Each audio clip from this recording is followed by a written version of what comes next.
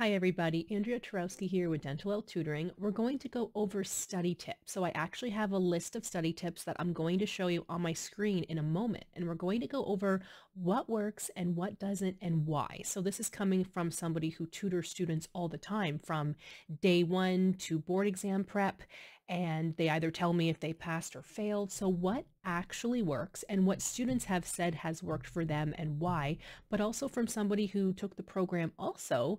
I've graduated and I had very high marks in the 80s and 90s depending on the class. Pharmacology was probably a little bit lower, but we're talking 80s. We're not talking barely passing, right? So these are going to work for you. I'm going to tell you which ones will work for you and why, depending on your personality and depending on your kind of life situation, okay? So let me share my screen here. So this is also in my blog. So I will leave the link for you guys down below. You can also see that on the website. If you go to dentalelle.com, there's a link there for all of the blog posts. If you want to print this out, save it to your phone, tablet, whatever you want to do. So Tip number one, and some of these study tips I might not even agree with, so we're going to go over those in a second too. So number one is called active recall. Have you heard about this one? Comment below. I'm curious if you've heard of any of the ones that I'm about to talk about and which ones have worked for you and which ones haven't. You'll be able to help other students kind of decide what they want to try too. So active recall is after you go through a topic, you then basically try to recall what you just learned or what you just read without looking. This is number one because this is actually the exact thing that I did in school before I knew it had a name. Okay. So if you check online, it says, why does this work? So active recall strengthens memory retrieval and helps with long-term retention by forcing the brain to actively engage with the material. This is so true. So this is what I did in school. I would literally have my PowerPoint up there and like on my I don't think I even used my cell phone at the time, so this was probably a laptop or something, or it would be printed out depending on, you know, who the teacher was. I, I would go through each slide, read it. I would actually read through the entire PowerPoint at once. It probably took like 10 minutes, 20 minutes maybe, but then I'd go back and practice this active recall.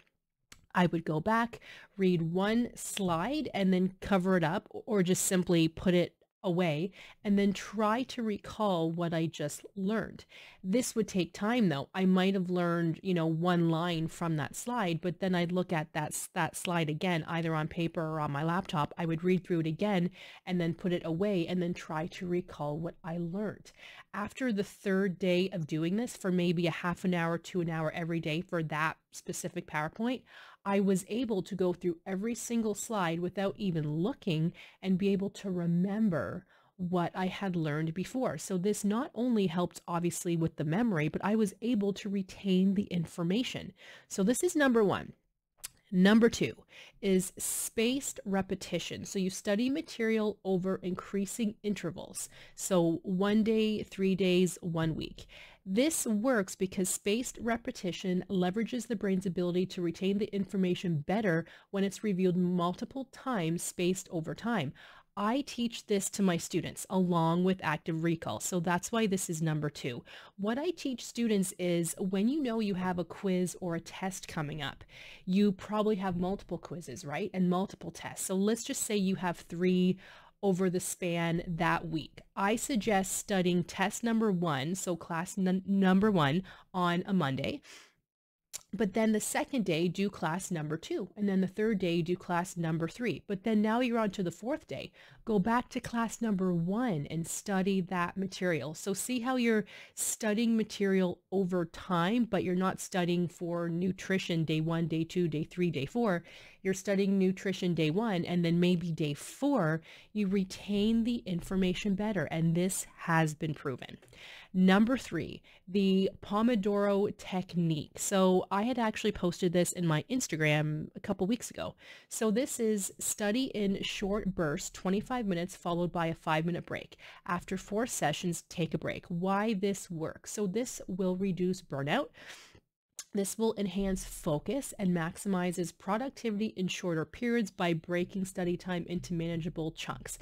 This may or may not work for you, okay? So this is one where I want to tell you why it might work and why it might not work, okay? So many students, actually 90%, I'd say, use this technique where they like to study for 20 minutes or 30 minutes.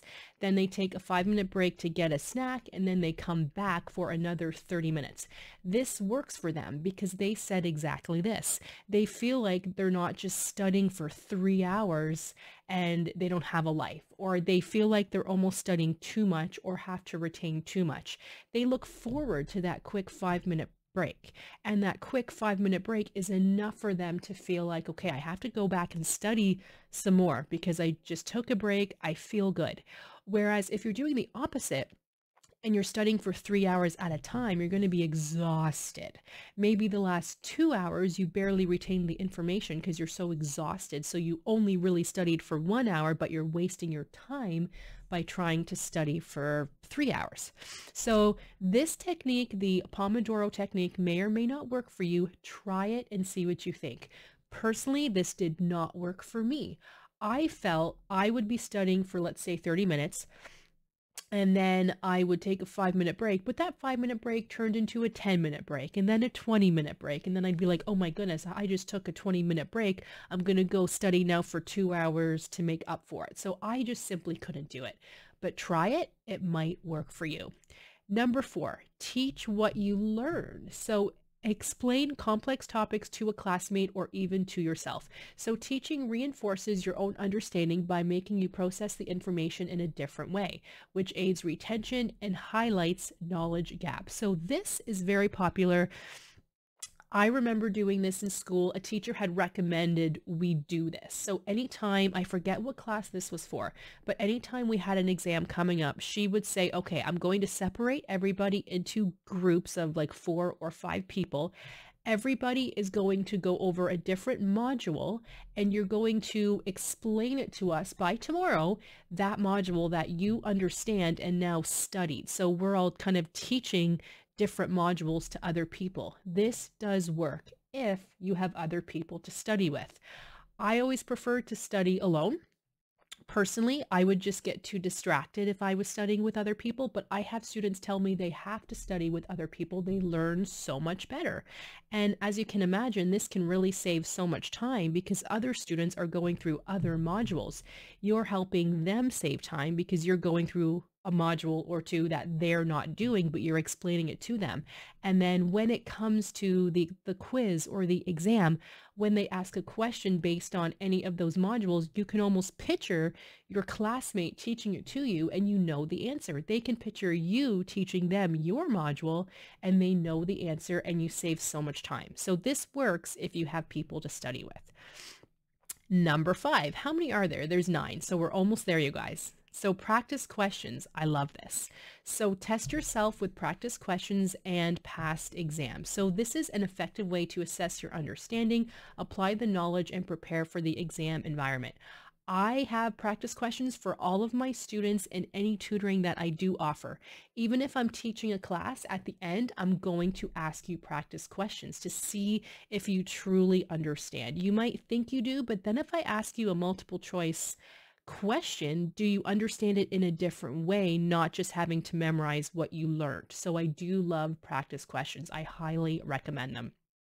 Number six, mind maps and visual aids. So create diagrams, charts, and mind maps to represent on paper or, or on the computer relations, um, relationships between concepts. So this helps in organizing information, making it easier for the brain to process and recall during exams. Personally, mind maps and visual aids never worked for me. I would spend more time mapping everything out, making it, it look pretty, um, making diagrams, charts. Personally, I just spent so much time doing that. It didn't work for me. But every student always tells me they need to see something to be able to study it and retain it. So maybe I'm the oddball here where mind maps and visual aids didn't work for me. You know, even something as simple as a textbook. People would always tell me when I was in school to just highlight important important topics. Well, I'd be highlighting the entire chapter. So how is that helpful? Or I would take the textbook and rewrite it um, in a way that I understood. But that would take twice or three times as long. So how is that helping me? But other students swear by it. So I'm curious, comment below, do mind maps and visual aids work for you? I would like to know. I'm curious. Number seven, break down big topics. So divide large subjects into smaller, more manageable parts and tackle each one step by step. This works by chunking larger concepts into smaller sections, makes studying less overwhelming, and helps you absorb the information in a more structured way. Well, this is true. So basically, you would take a large topic like pharmacology and break it into manageable parts, okay? And this is what I do inside all of my board exam prep courses. Any PowerPoint or PDF file that I have, I don't just simply rewrite the textbook because that's not helping you. I teach medications in one PowerPoint. I teach how the body works to process the medications in another one. So I divide it into smaller subjects for you so it's more manageable to study. With teaching videos, PDF files, practice, mock exam practice, tests, all of that, it works. I highly recommend it. Number eight, stay consistent with study schedules. So set a fixed study schedule and stick to it, even if it's just an hour a day. This helps to build routine, minimizes procrastination, and allows for steady progress without cramming before exams. And this is so true, like a, a study hack for you. I tell all of my students, be consistent as best you can, but this doesn't mean being 100% perfect every day, okay? I think I even have another YouTube video just about consistency and what that actually means. So you can study for two hours every day or study for six hours every day. Or if you're tired, study for just two hours that day, but then save the six hours for another day where you have more energy and you're ready to go. But try to stick to a schedule like you're going to study every Monday, Wednesday, Thursday, Friday, but then you have the weekends off. Try to stick to a schedule. I believe in this, but life can get in the way. So don't be too hard on yourself if you're sick for three days and can't study for three days, but those were the days you had allotted for your studying. Don't be too hard on yourself because you're just going to stress yourself out more. You need to take a rest when you need it because then you'll get the energy back quicker and you'll be able to study the next day. Okay, so stay consistent the best you can but take breaks too and don't be so hard on yourself. Last but not least, a healthy lifestyle. I know this may sound corny, but it's true, you guys. I definitely know as I get older, I'm not 19 anymore. If I eat a pizza for dinner two nights in a row, I don't feel so good. I'm more tired. I feel sluggish. If I'm not drinking enough water, I get a migraine. I wouldn't be able to study if I had a migraine. That entire day would be a write-off. I would be in bed trying to just go to bed early because I'm in so much pain, right? Um, and if I feel sluggish, well, you might be studying for three hours, but you're only really retaining an hour until you basically fall asleep and have a nap, right? So try to eat healthy, drink lots of water. Um, all of this together really, really helps. So I really would like to hear from you guys. Comment below. Let me know what you think about these study tips. This is all in a blog post of mine. If you wanted to like save the actual file, you can do that. If you're a student of mine, um, either in the Dentalelle Student Academy or any board exam prep package, you have the link to the blog post as well. If you want the full document, just send me an email. I am happy to send it to you. Um, but I think I should have it in the blog post. I'm going to actually add add it. It's not there yet, but I'm going to add it. So if you just want to keep this for your records, you can. Okay. So how did you do? Any questions, you guys, let me know. Studying effectively is so important, but I can't stress this enough. Just find what works for you. What works for you might not work for your partner, or what works for me might not work for you. But once you kind of find what works for you, that's the best life hack, study hack, student hack you can think of it will just serve you so well in the long run. So let me know you guys have any questions. Thank you for watching and I'll see you in the next one.